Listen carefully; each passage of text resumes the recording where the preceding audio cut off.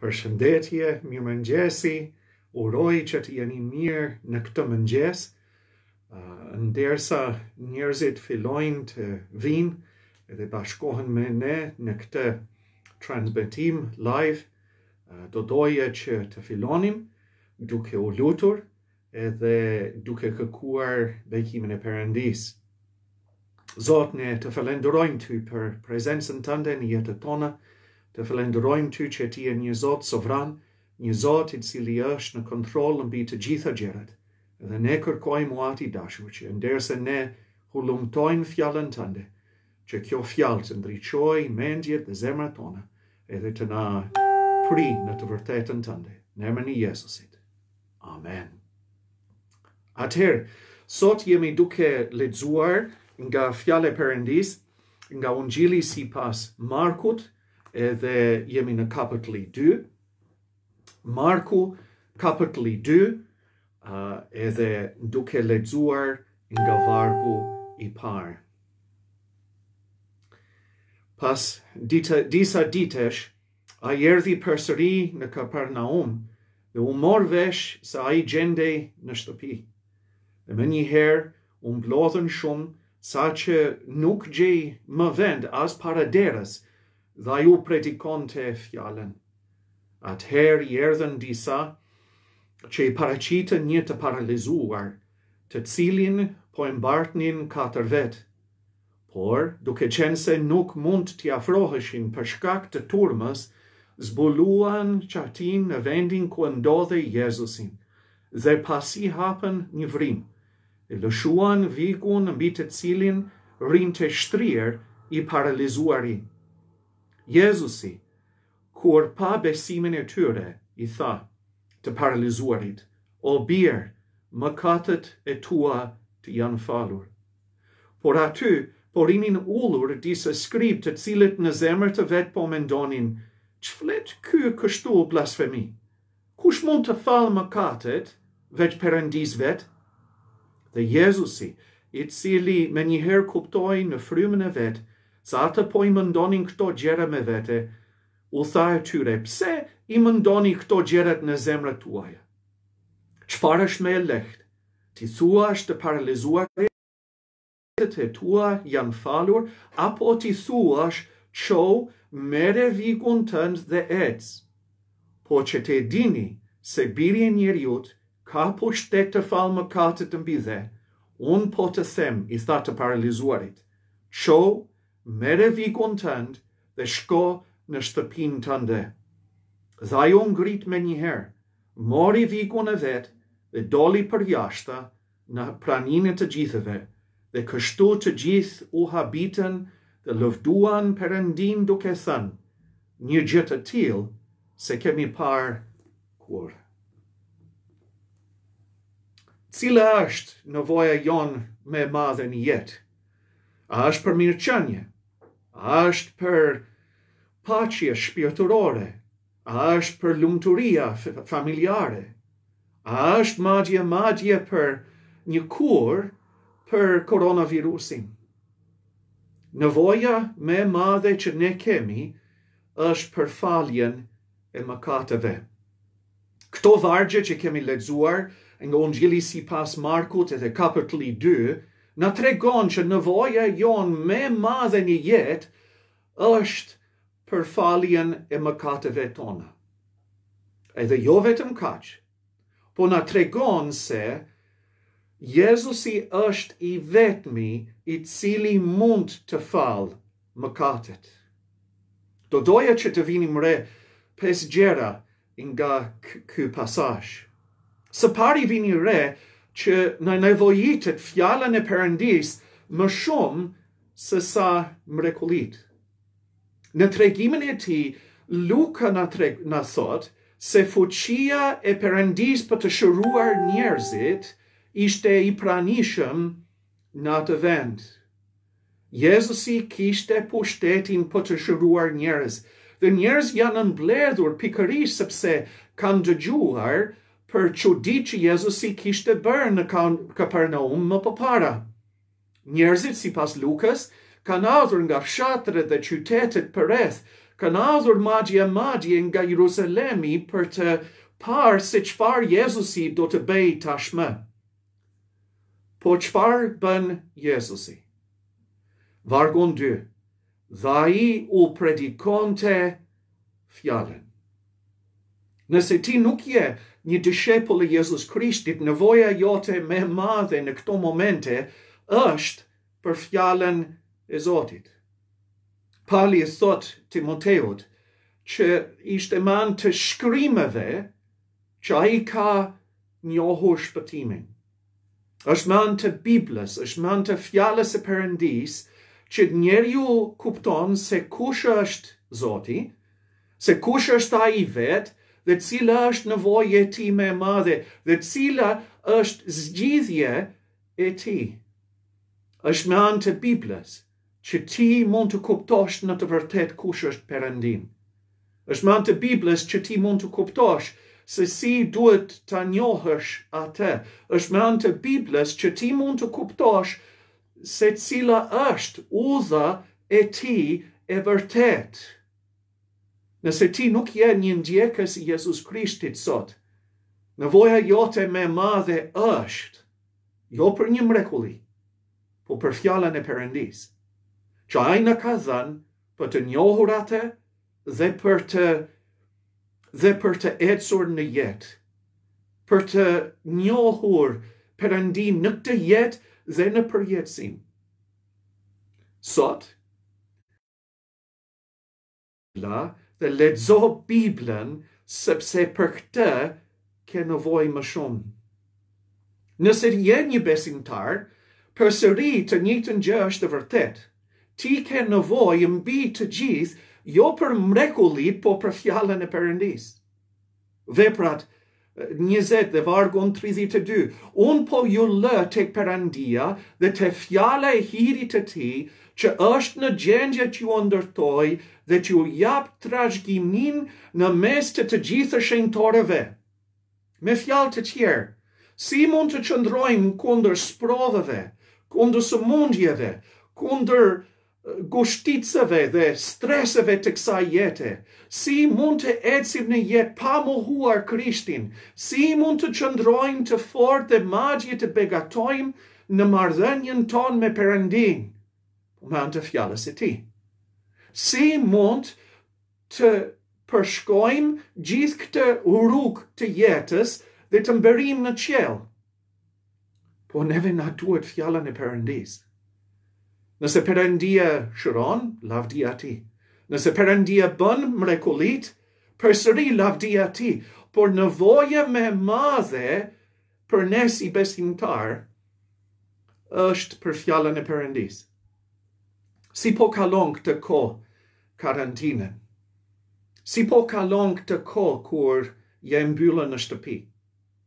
A je duke zhytur veten tënde në fjalën e Perëndisë, sepse nevoja jote më e madhe është për fjalën. Dhe ne si kishat kemi nevojë më shumë për fjalën e Perëndisë se sa për çdo gjë tjetër. Është interesante çfarë ndodhi në Kapernaum para kësaj ngjarje. Jezusi kalonte tërë ditën duke shëruar njerëz dhe duke dëbuar frymëra të këqija. Dhe ai vazhdonte këtë deri në mbrëmje. Ditën tjetër herët njerëzit ishin duke kërkuar për Jezusin dhe kur e gjetën e thanë, "Po mësues, të gjithë po të kërkojnë." Edhe Jezusi u përgjigj në mënyrë shumë të veçantë. Në Luka një e tridhjetë e tetë ai thotë, Le të shkojmë në fshatrat e afërme që të predikoj edhe atje, sepse për këtë kam ardhur. Jezu, Jezusi erdhi kryesisht që të predikojë fjalën e Perëndisë. Dhe ne mbi gjithçka kemi nevojë për fjalën e Perëndisë në kishat tona. Jo thjesht për shëndetin tonë si besimtarë, jo thjesht për shëndetin tonë si kisha, po po ashtu për njerëzit që nuk e njohin Perëndin. Si mund njerëzit të njohin ungjillin e Jezus Krishtit pa fjalën? Si mund njerëzit të kuptojnë rrugën e shpëtimit Nëse përparësia jonë nuk është të predikojmë Fjalën. Përparësia jonë nuk duhet të jetë as tek mrekullitë, as tek ndonjë gjë tjetër. Ne duhet të përqendrohemi tek Fjala, sepse me anë të Fjalës njerëzit shpëtohen nga mëkati dhe Kisha e Zotit ndërtohet në besim. Na nevojitet Fjala e Perëndisë. më shumë se mrekullitë. Së dyti i vini re se mëkati është sëmundja më e keqe. Prezantohemi me një njeri i paralizuar edhe shohim se sa e tmerrshme ishte jeta e tij. Ky njeri nuk ishte i aftë për as edhe një gjë. Ky njeri nuk mund të kujdesej për veten e tij apo të plotësojë nevojat e tij. Jeta e tij ishte në të vërtetë e zezë. Kur vjen ai tek Jezusi, çfarë pret ti Jezusi të bëjë? Po të shërojë atë. Edhe çfarë bën Jezusi? Vargun 5, ai thotë, o bir, mëkatet e tua të janë falur. Përse bëri Jezusi këtë? Sepse nevoja më e madhe e këtij njeriut, ishte për faljen e mëkateve. Edhe nevoja e çdo njeriu, është për faljen e mëkateve. Përse? Po mëkati sjell pasoja shumë të këqija. Zoti i përshkruan mëkatin e Izraelit si një sëmundje. Në Isaia kapitullin një dhe vargun 5 ai thotë, gjithë koka është e sëmurë, gjithë zemra lëngon, Nga tabani i këmbës deri te koka nuk ka asgjë të shëndoshë, vetëm plagë, vurrata dhe plagë të hapura që nuk janë pastruar, as janë lidhur, as janë qetësuar me vaj. Mëkati infekton gjithë qenien tonë. Ajo ai infekton jeta jonë e brendshme dhe e jashtme, mendjet tona, zemrat tona, gjithçka në jetë, edhe na lë të plagosur duke vuajtur pasojë shumë të rënda. Mëkati na ndan nga Perëndia dhe na lë zemërimin e tij. Mëkati na ndan nga Perëndia, Isaia 59, 2. Pavars, paudhësitë tuaja kanë shkaktuar një ndarje midis jush dhe Perëndisë tuaj. Zoti është burimi i jetës, i paqes, i dashurisë. Nëse ne jemi të ndarë nga Perëndia, Jemi të ndarë edhe nga të gjitha këto gjëra njëkohësisht. Mëkati sjell pasoja të rënda për jetët tona, mëkati na ndan nga Perëndia dhe mëkati na lë nën zemërimin e Perëndisë. Romakët një tetëmbëdhjetë thotë se Zemërimi i Perëndisë zbulohet kundër çdo padrejtësi dhe pabesi të njerëzve. Realisht, njeriu është nën zemërimin e Perëndisë dhe është prej natyre armiku i Perëndisë.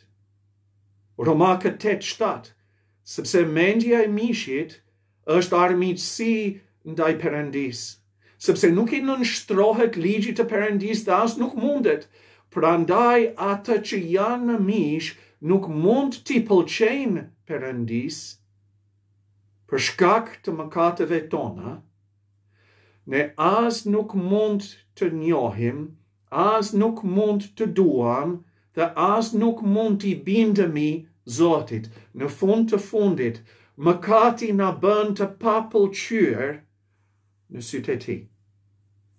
Dhe mëkati do na çojë në një ferr të përjetshëm nëse nuk kthehemi tek Zoti.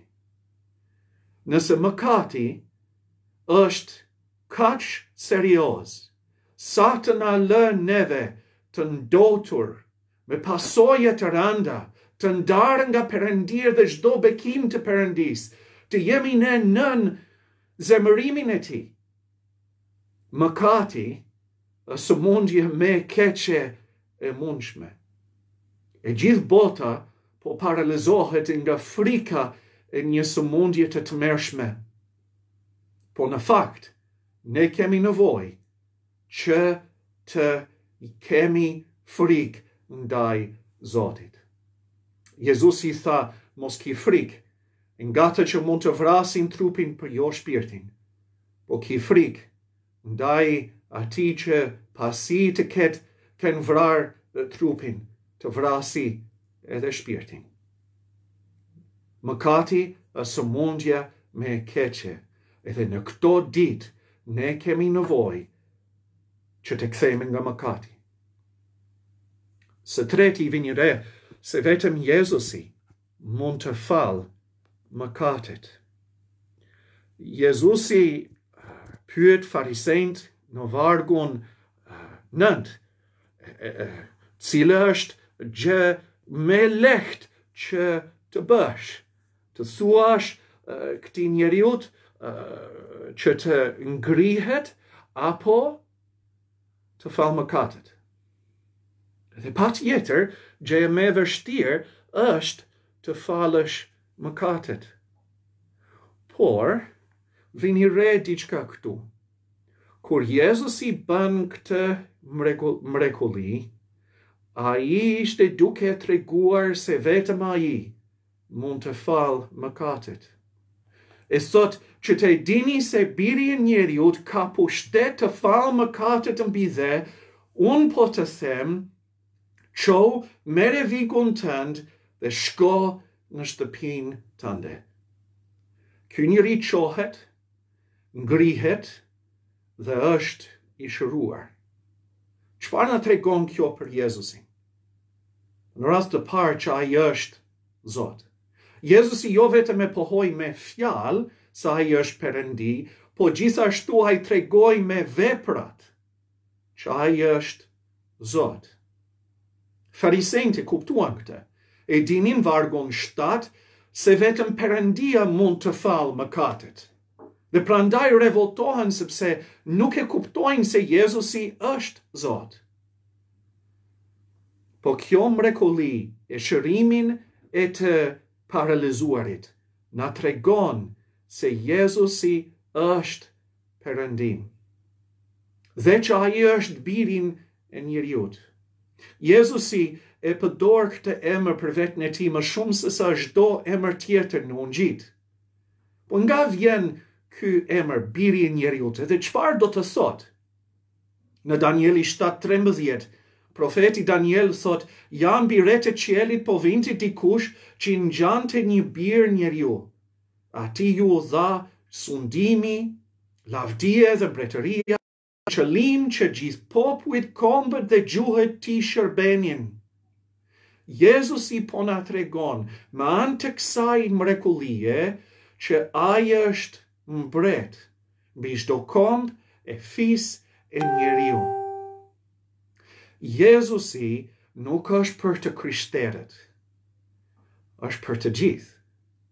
Pavarësisht prejardhja jote, pavarësisht ku jeton apo cila është kultura jote, Jezusi është Zot dhe Jezusi është mbret i të gjithëve. Dhe Jezusi është i vetmi që fal mëkatet.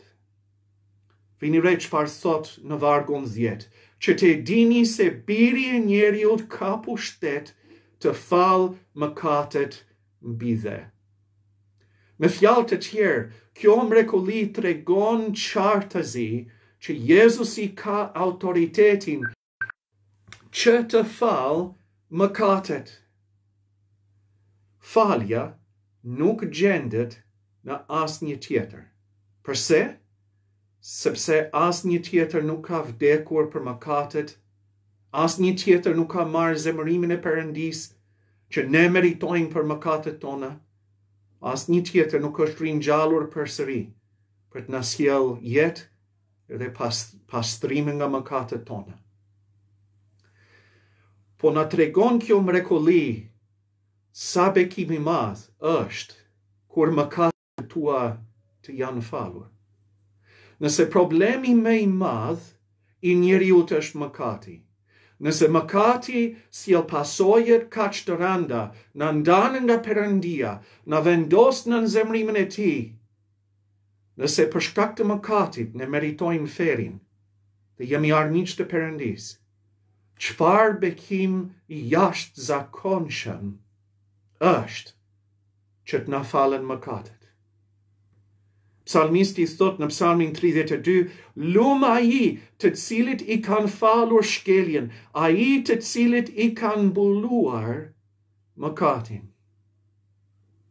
A e njeh këtë bekim ti, a të janë falur mëkatet, a ke paqe me Perëndinë, A e njeh ti këtë paqe, këtë lehtësim, këtë gëzim dhe lumturi që vjen kur mëkatet e tua të janë falur? Nëse jo, kthehu tek Jezusi sot. Dhe nëse ke marrë këtë falje prej Jezusit, gëzohu në të, ngazëllohu në të, Nuk ka bekim më të madh në botën e mbarë sesa të kesh mëkatet e tua të falura. Është të kesh paqe me Perëndinë, miqësi me Perëndinë, është të njohësh Krijuesin dhe Shpëtimtarin tënd, është është të marrësh prej Tij bekimet, jetën, gjithçka prej Tij. Edhe ne si besimtarë A jemi duke ankuar për çfarë s'kemi? Apo për çfarë frikë kemi për të ardhmen?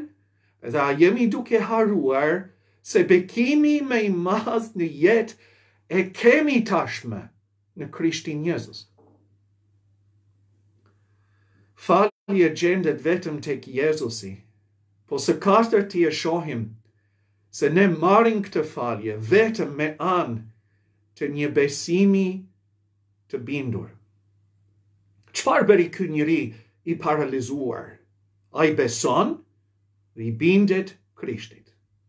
Ai e merr faljen e mëkateve sepse beson te Krishti dhe i bindet fjalës së Krishtit. Dhe nëse duam faljen e mëkateve tona, duhet të bëjmë po të njëjtën gjë. Ne duhet të besojmë te Krishti. Duhet të besojmë fjalën e tij.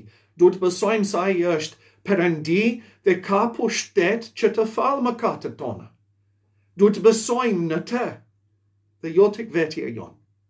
As feja jonë, as mirësia jonë, as të mirat që kemi bërë, as asnjë gjë nga vetja jonë, nuk duhet të besojmë. Besimi ynë duhet të jetë krejtësisht tek Krishti dhe jo tek vetja. Sot, në çfarë po beson? Tek vetja jote, apo tek Jezusi? Po duhet edhe t'i bindemi Krishtit. Ky njeri bëri atë që Krishti e urdhëroi. Dhe kështu duhet të bëjmë Edhe ne. Çfarë na ka urdhëruar Krishti të bëjmë? Marko 1.15 U mbush koha dhe mbretëria e Perëndisë është afër, pendoni dhe besoni ungjillin. Nëse Jezusi është Zotin dhe mbretin e të gjitha kombeve, na takon që të Jemi të bindur ndaj tij. Farisenjtë e kishin këtë problem. Ata në të vërtetë i dëgjuan fjalën e Krishtit, e panë mrekullinë e Krishtit, po nuk iu bindën Krishtit. Ata refuzuan që t'i bindeshin Krishtin, të kishin Krishti si mbretin, autoritetin e jetës së tyre. Edhe kjo është çështje për ne sot. A do të kemi Krishtin si mbretin e jetës sonë? A do të pranojmë autoritetin e tij mbi jetët tona? Krishti nuk fshe, Aspak çfarë ai kërkon prej nesh. Ai nuk është si një shitës që bën gjërat me hile. Ai nuk është një që do të mashtrojë njerëzit apo të verbojë. Ai kërkon një përkushtim edhe ne të hyjmë në këtë përkushtim me sy të hapur. Nëse duam faljen e mëkateve, do të thotë që duhet të kemi Krishtin si mbretin e jetës sonë, autoritetin e jetës sonë, të jetojmë t'i bindemi Krishtit. Shumë njerëz duan bekimet që vijnë nga Perëndia, po jo që Perëndia të përfshihet në jetët e tyre. Shumë njerëz duan bekimet e Zotit, po nuk janë gati të pranojnë autoritetin e tij në jetët e tyre. Po ti sot, a, ka, a ke pranuar Krishtin si mbretin e jetës tënde? Sepse pa këtë, ti nuk mund të kesh faljen e mëkateve të tua dhe ke përpara një përjetësi të ndarë nga Perëndia nën zemërimin e tij. Së pesti vini re një rrezik i madh, të dimë për Jezusin, po të mos kthehemi tek Jezusi. Njerëzit natyrisht janë të shtangur nga mrekullia që Jezusi kryen përpara syve të tyre. Në tregimin e Lukës na thuhet të gjithë u mahnitën dhe dhe përlëvduan Perëndinë dhe u mbushën me frikë. Edhe fjala për frikë është fobia, një tmerr, një panik, një druajtje të madhe. Ata janë dëshmitarë okularë të madhështisë dhe fuqisë së Zotit. Dhe madje janë të tronditur prej kësaj. Por nuk ndryshojnë. Nuk kthehen te Krishti. Nuk besojnë e nuk i binden Krishtit. Ata ndodhen në qytetin e Kapernaumit. Edhe çfarë tha Jezusi për Kapernaumin në Mateu 11:23?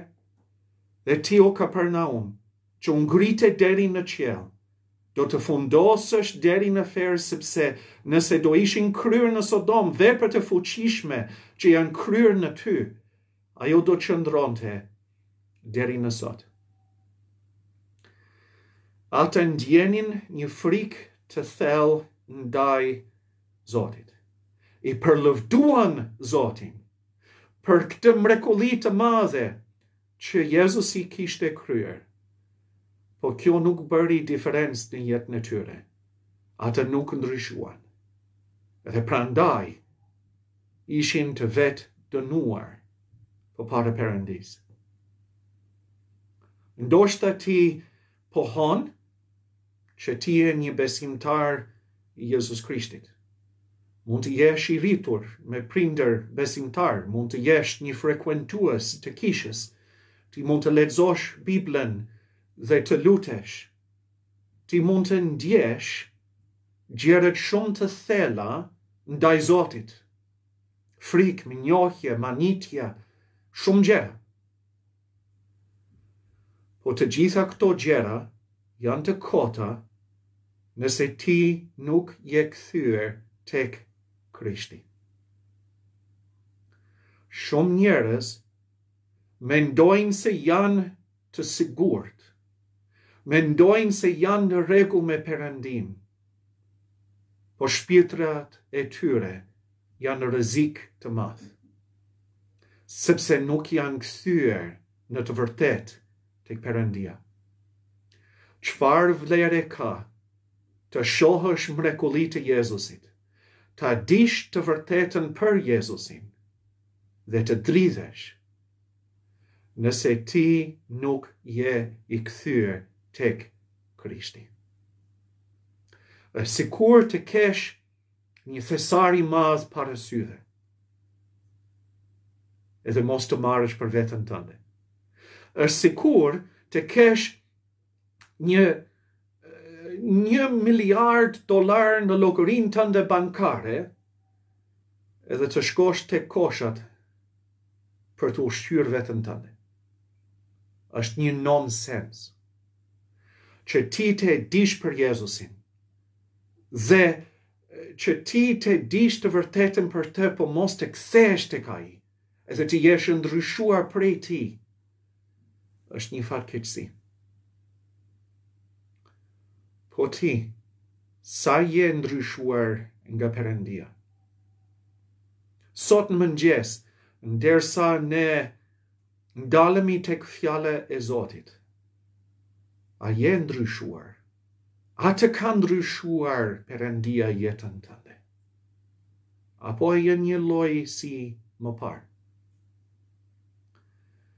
Një njeri i krishterë nuk është i tillë nga prejardhje familjare apo frekuentimi i kishës, po sepse i beson dhe i bindet Krishtit dhe ka një kthesë në jetën e tij. dhe është ndryshuar prej perëndisë. A të ka ndryshuar perëndia jetën? A je ndryshuar prej fuqisë së tij? Dhe a je një bir i tij? Sot, ndersa ne kalojmë një periudhë tepër të vështirë në mbarë botën, pyetja nuk është si do t'ia dalim nga koronavirusi. Pyetja është, a kemi vajtur tek Krishti për faljen e mëkateve tona? Mëkati është sëmundja më e keqe në botën e mbarë. Ti mund të marrësh shërim për koronavirus në këtë jetë, Po nesër do vdesësh dhe do përballesh me Perëndinë dhe do të do të japësh llogari Perëndisë. Po çfarë ke bërë me Krishtin edhe me ungjillin e tij? Në atë ditë kur ti të përballesh me Zotin, kur ai të peshojë jetën tënde, feja jote, Mirësia jote, veprat e tua të mira, apo thjesht fakti që s'ke bërë një mëkat në thonjëza të madh, nuk do të të hyjë në punë. E vetmja gjë që do të ketë rëndësi në atë ditë është nëse mëkatet e tua të janë falur. Kthehu tek Jezusi sot, dhe merre faljen e mëkateve, dhe përjeto paqen me Perëndinë dhe paqen e Perëndisë. Dhe ki siguri për këtë jetë edhe për jetën që po vjen. Edhe nëse ti ke marrë këtë falje të mëkateve, fjala ime për ty është e thjeshtë. Qetësohu. Ajo që është zgjidhur është gjë e më rëndësishme dhe më madhore të jetës. Se si do t'ia dalim nga kjo krizë, a do t'i shmangim virusin, a do të mbijetojmë ekonomikisht, a do të jenë mirë familjet tona apo jo, si do bëhet me këtë botë, patjetër këto gjërat janë shumë madhore. Por gjëja më e madhore është të kesh mëkatet e tua të falura. Dhe nëse ti ke marrë këtë bekim prej Perëndisë, atëherë ti ke tashmë bekimin më të madh në jetë. Besimtar merr zemër, sepse sot ti ke marrë pjesën që nuk do të hiqet ty kurrë. Shëndeti do vi dhe do iki. Leku do, do kemi edhe s'do kemi. Një perspektivë apo një mirëqenie mund të kemi apo jo. Por nëse ke faljen e mëkateve dhe paqe me Perëndinë, kjo gjë Nuk do të të hiqet ty kurrë.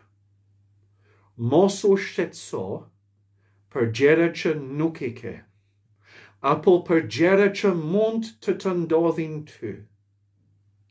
Pusho tek fakti që gjëja më madhore në jetë e ke tashmë, është e siguruar. Mëkatet e tua të janë falur. Edhe ti do të jesh me Perëndinë në këtë jetë edhe në përjetësi. Kjo është ajo që ka rëndësi. Edhe vetëm ajo. Zoti na bekoftë dhe Zoti bekoftë fjalën e tij. Nëse ti ke një pyetje për pasazhin që kemi shqyrtuar sot, Apo nëse thjesht ke një pyetje për Zotin, për Krishtin, për Biblën, për besimin, më shkruani në Messenger. Më shkruani një mesazh dhe do të përpiqem që të jap një përgjigje. Por mbi të gjithë, pusho tek falja e mëkateve, sepse kjo Është gjë më madhore. Tani edhe për gjithmonë. Zoti ju bekoftë shumë.